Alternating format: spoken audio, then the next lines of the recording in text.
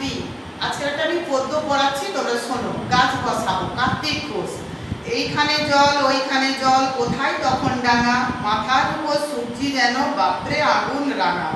ওই নদী মেঘ, ওই যদি মেঘ, এই তবে ঝড়, নিত্য জলের ধারা। তার মধ্যেই হঠাৎ কখন পড়ল প্রাণের সারা সবুজ সবুজ শ্যাওলা প্রথম জন্ম নিল জলে।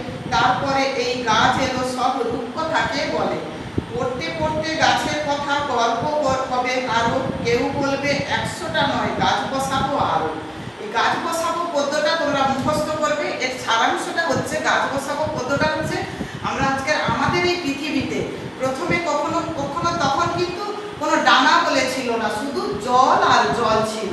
তখন সূর্যের তেজও প্রচণ্ড ছিল ঘন প্রায় যখন তখন ঝড় বৃষ্টিও হতো, তারপর এক সময় পৃথিবীতে যখন প্রাণের সাড়া মিলল, তখন প্রথম সৃষ্টি হলো শ্যাওলা সৃষ্টি হলো। তারপরে ধীরে ধীরে এলো গাছ।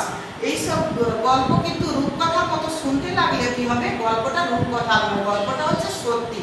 গাছ আমাদের এত উপকার করে যে গাছের আমাদের গাছ লাগানোটা, গাছ নিয়ে আমাদের গর্ব করা উচিত। তাই গাছ আমরা না কেটে অবশ্যই আরও অনেক অনেক গাছ লাগানোটাই উচিত। এই পদ্যটাতে সেই গাছ লাগানোর কথা নিয়ে কবি লিখেছেন যে, এইখানে জল, ওইখানে জল, কোথাও তখন ডানা নেই, তখন মাথার উপরে সূর্য যেন প্রচুর প্রচণ্ড জোরে আগুন রাঙার মতো তেজ, ওই যদি মেঘ, এই তবে ঝড় মানে যখন খুশি মেঘ, ঝড়, বৃষ্টি হতো, নিত্য জলের ধারা, তার মধ্যে হঠাৎ তখন পড়ল গ্রামে। তারই মধ্যেই যেন গ্রামের সারা মানে তখন সবুজ সবুজ শ্যাওলার প্রথম জন্ম নিল।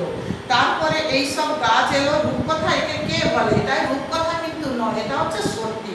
পড়তে পড়তে গাছের কথা গল্প হবে কারও।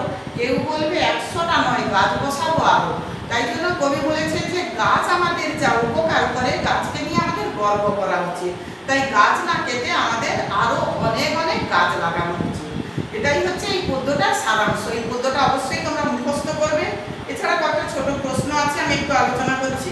গাছ বসাবো কবিতাটির লেখককে না কার্তিক ঘোষ? প্রথমে পৃথিবীর চারিদিকে কি ছিল? শুধু জল আর জল ছিল। প্রথমে সূর্যের রং কেমন ছিল? আগুনের মতো রং ছিল। প্রাণ প্রাণ রূপে পৃথিবীতে প্রথম কি জন্ম নিল? শ্যাওলা জন্ম নিল। আরও ছোট প্রশ্ন আছে আরও যে এলোমেলো বাক্য, এছাড়া আরও যে এখানে আছে, অর্থ, বিপরীত শব্দ, বাক্য রচনা, এগুলো আমি হোমওয়ার্ক পাঠিয়ে দিচ্ছি। অবশ্যই তোমরা বাড়িতে কপিতে ভালো করে